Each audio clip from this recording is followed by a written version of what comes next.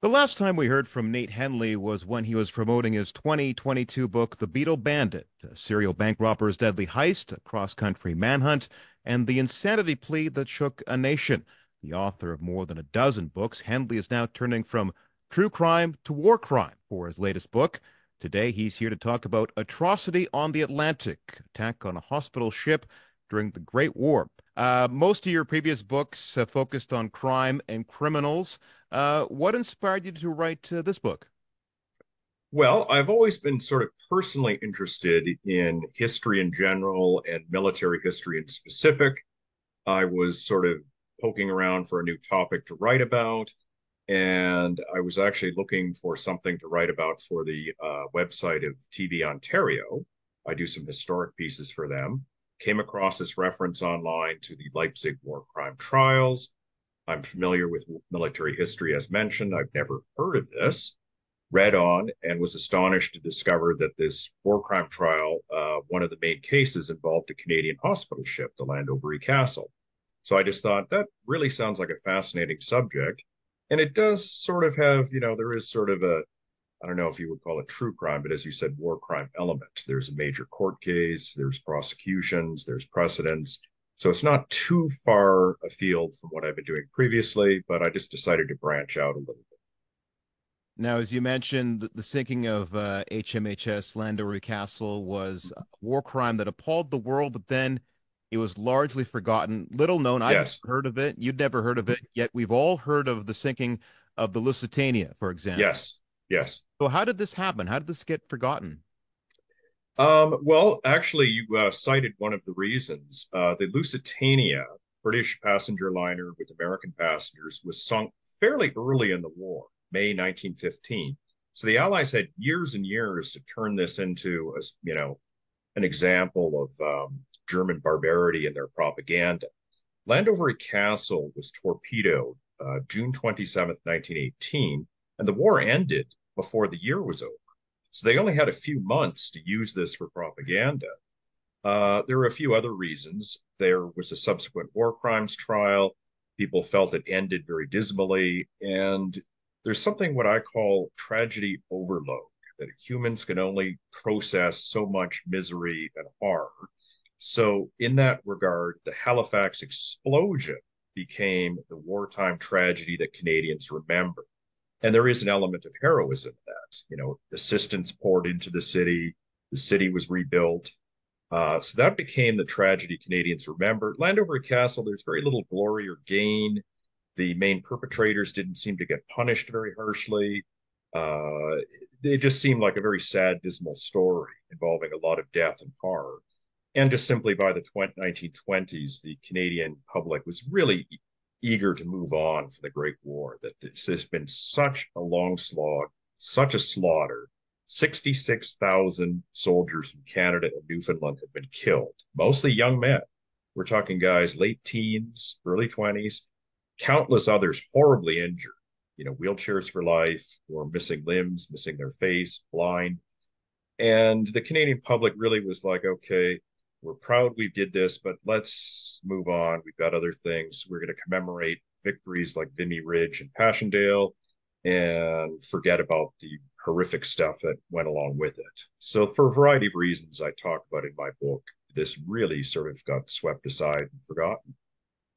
There's what they call, and you refer to it as well, and I've, I've read this elsewhere, a, a tidying up of the history after the war. Yes. And this seems to be another example of that. Very much so. Um, as I said, it's a sad, terrible story. Um, hospital ship sunk. And at first, there seemed to be very little sort of, as I said, glory or gain from this. That obviously the um, the survivors, there were 24 people in a single lifeboat who survived this ambush. Obviously, they, you know, were quite brave and you know heroic to do this but it didn't fit the sort of military narrative, this sort of neat sort of military narrative of our brave boys charging up the hill with bayonets. It was this sort of murky, unpleasant story.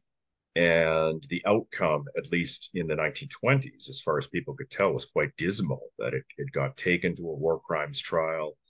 Um, two lieutenants from the submarine were given four year sentences, which was considered a joke. And then they were busted out of jail by their comrades. So that was even worse.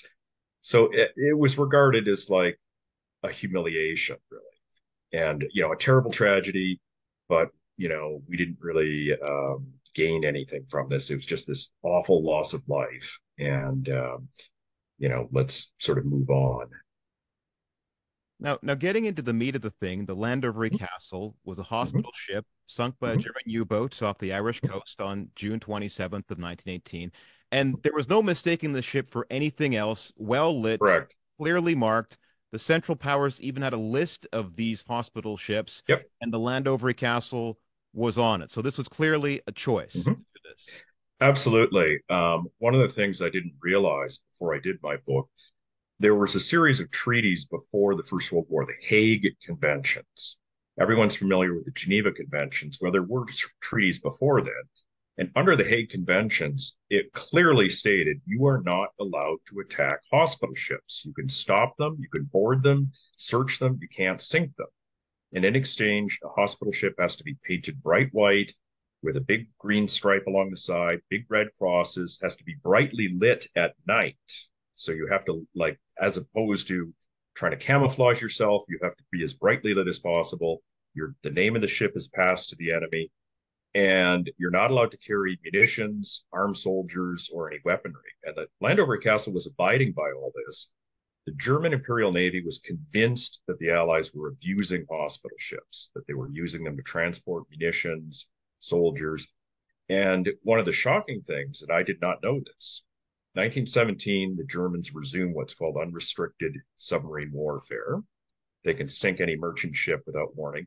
They also permitted their subs, their U boats, to attack hospital ships, but only in certain areas. That was, it was one of these very weird kind of things. Like, you know, in the Mediterranean Sea and the sort of uh, this, this maritime zone, as they describe it, from the English Channel to the North Sea it was okay to attack hospital ships there.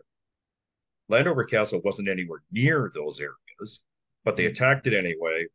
The U boat crew later even testified they could tell by the lights on the ship that it was a hospital ship.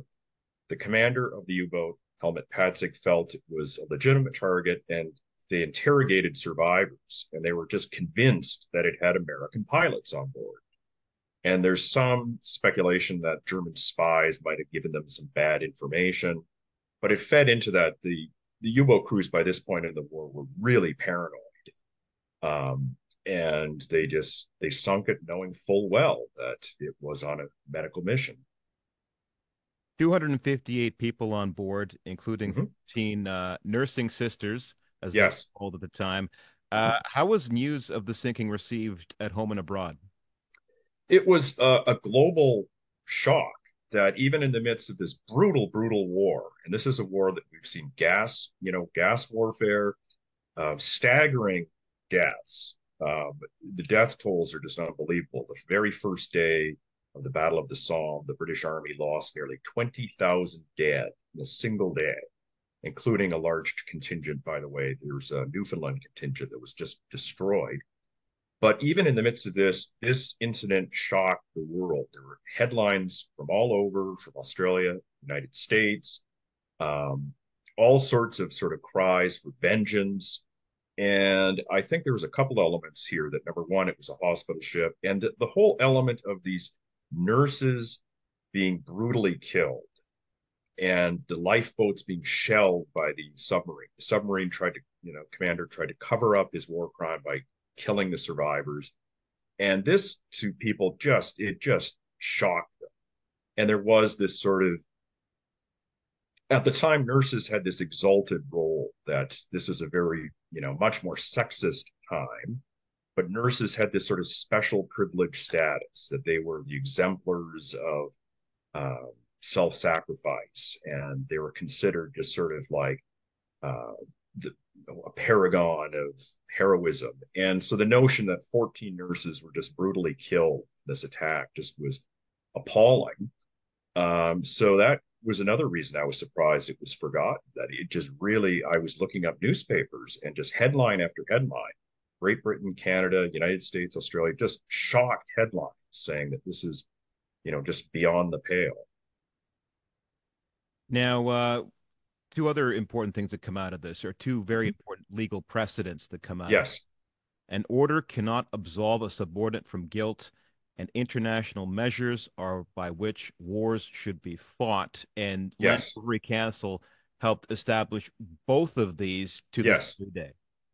That's correct. That um, a lot of these principles, uh, when we talk about war crimes or international law, a lot of people don't know the origins of this. And the origins, a lot of this came out of the what was called the Leipzig war crime trials.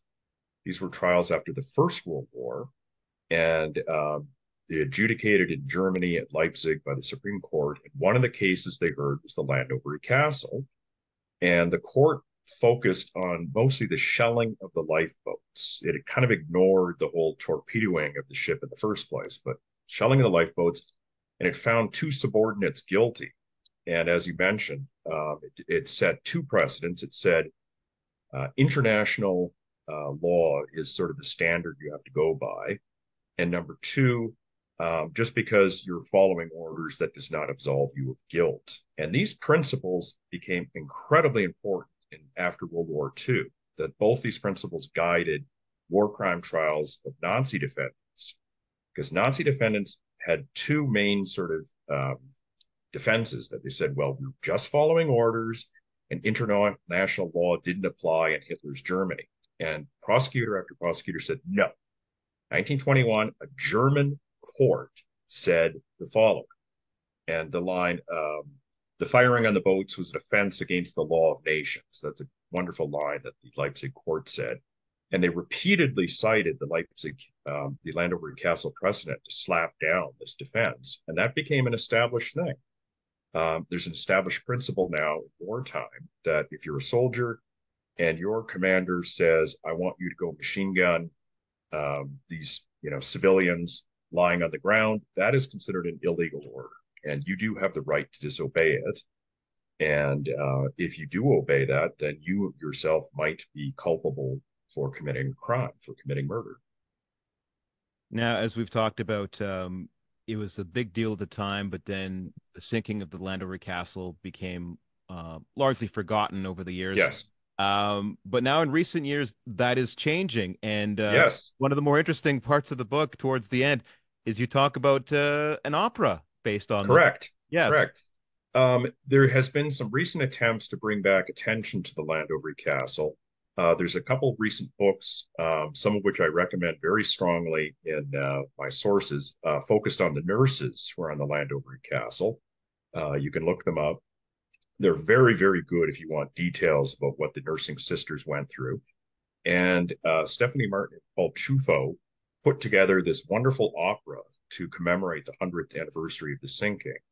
I go into detail about the genesis of this opera, but it basically started when Stephanie Martin, who is a composer, was in a church doing rehearsals for a different sort of musical thing, and she noticed a plaque on the wall of this church to um, Agnes uh, Mackenzie, uh, who was died on the Llandovery Castle when it was torpedoed. She was like, "What?